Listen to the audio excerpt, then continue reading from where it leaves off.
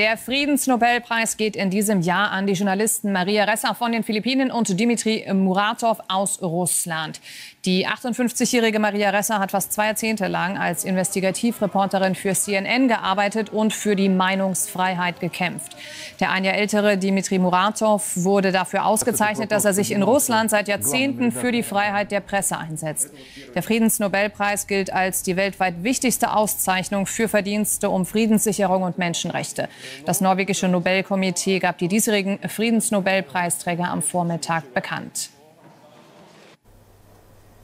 Und über sie wollen wir noch ein bisschen genauer sprechen. Schauen nach Moskau zu Christoph Wanner. Christoph, Dimitri Muratov, wer ist der Mann?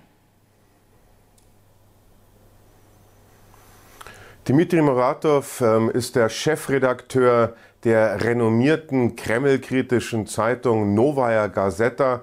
Das ist tatsächlich ein Mann, der seit 1993, also seit der Gründung der Novaya Gazeta, deren Gründungsmitglied er auch war, immer sich für die Pressefreiheit, Meinungsfreiheit, Meinungsvielfalt eingesetzt hat, glaubwürdig eingesetzt hat. Und er ist jemand, der tatsächlich der Chef eines der letzten unabhängigen und auch kremlkritischen Medien Russlands ist. Und weil eben hier ähm, so vieles im Argen ist mit der Pressefreiheit, mit den Menschenrechten, den Bürgerrechten, äh, hat er wohl auch jetzt ähm, diesen Nobelpreis bekommen. Und wie ich finde, absolut zu Recht, es ist ein absolut couragierter, mutiger Mann. Und er hat selbst ähm, gar nicht mit diesem Preis gerechnet und er hat erzählt, dass als der Anruf auf Norwegen kam, hat er das gar nicht äh, verstanden, hat ihn gar nicht zuordnen können, hat ihn als unerwünschten Anruf erstmal weggedrückt und da musste man ihn dann von dritter Seite darauf hinweisen, dass jetzt doch ein nicht unwesentlicher Anruf kommt und man ihm einen doch auch nicht unwichtigen Preis verleihen möchte.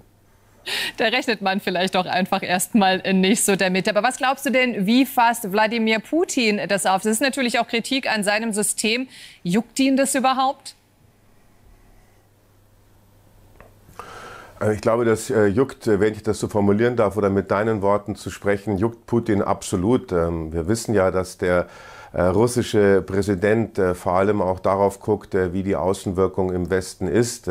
Putin ist jemand, der solche Ohrfeigen auch sicherlich nicht vergisst, denn nichts anderes ist das als eine Ohrfeige. Ich habe es ja gerade schon angedeutet, in Russland ist vieles im Argen mit den Menschenrechten, den Bürgerrechten, der Pressefreiheit, wird die Presse sehr häufig gegängelt und, und jetzt eben dieser Preis für einen Verfechter der Pressefreiheit, das ist nichts anderes als eine Ohrfeige und ich glaube, genauso wird das im Kreml auch verstanden.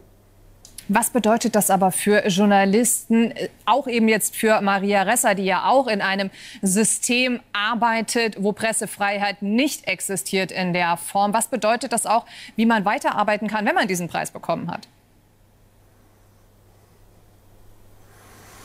Ja, also für die Philippinen tue ich mich jetzt mit einer Einschätzung etwas schwerer. Da kenne ich mich äh, nicht gut genug aus. Ich kann dir für Russland sagen, also Leute wie Dimitri Muratov und seine Journalisten leben seit Jahren extrem gefährlich und äh, von der Novaya Gazeta äh, wurden seit ihrer Gründung 1993 schon sechs Journalisten äh, wegen ihrer investigativen und auch schonungslosen Herangehensweise ermordet. Und die bekannteste ist wohl Anna Politkovskaya. Und gestern war der 15. Jahrestag ihrer Ermordung. Und da hat auch Dimitri Muratov, also der jetzige Nobelpreisträger, dazu an einem Film mitgearbeitet und hat da stark kritisiert, dass die Aufklärung in Bezug auf die Hintermänner Männer, die Auftraggeber dieses Mordes überhaupt nicht ähm, vorankommt und äh, dass das alles total verschleppt wird und dass der Kreml wohl auch kein Interesse daran hat, ähm, tatsächlich die Auftraggeber zu benennen. Also hier ist wirklich sehr, sehr vieles im Argen. Deswegen hat Muratov diesen Preis bekommen und ich kann es nur noch einmal sagen,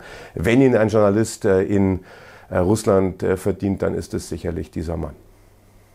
Wir gratulieren beiden Preisträgern. Dankeschön, Christoph, nach Moskau.